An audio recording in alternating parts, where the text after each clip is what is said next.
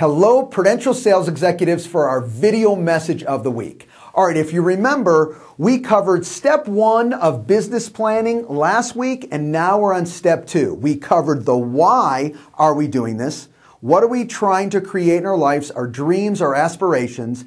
Then we talked a little bit about last week the what. What are we actually trying to create? This week, we're going to talk about the how.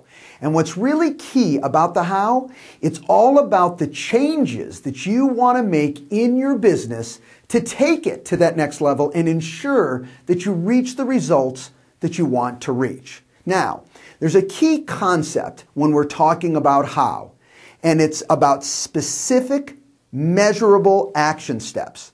Think about it. I'm going to repeat that. Specific, measurable action, action steps. Now remember, I always talk about less is more. So we're not trying to do a ton of things here. We want to minimize it, but they've got to be very specific, measurable action steps that moves you forward. Let me give you some examples. Let's say you want to do more transactions with your sphere. Okay, so you want to increase the amount of transactions that you do with your sphere. What is an action step, a measurable action step? Well, let's say you said, you know what, I'm going to contact 10 people in my sphere per day. I'm going to speak to 10. Okay, not only call, but I'm going to speak to 10 people in my sphere per day. I'm going to ask them what real estate needs they have in the short term and the long term, and I'm specifically going to ask them for referrals. That is a specific, measurable step that you can take to move your business forward. Let's say you want to uh, tweak your skill set with listing presentations. Well, what's a measurable step? I can tape myself while doing my listing presentation, and each week I'm going to do a minimum of three listing presentations live in front of clients. And then at the end of the month, I'm going to tape myself again and see as I've gotten better. In between, you can even have measurable steps to practice please, what's so important here is don't make this so overwhelming for yourself. That's why it's key.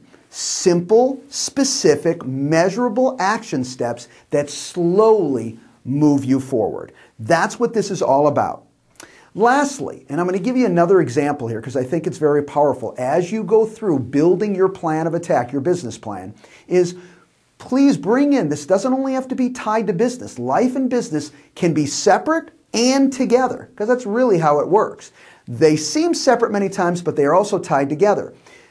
Personal life balance. Have something in there. Maybe it's as simple as I want to go on, oh, a, a, a date each week with my spouse. And I'm going to make sure, maybe you do it twice a month to start, start off with. You don't have to do it all at one time. But again, that's a measurable step that you're saying that, you know, my personal life balance is also one of the things that I put on my want list. Well, that's great. Now you say each or every other week, I will go on a date with my spouse and commit to being there and moving that personal life balance forward.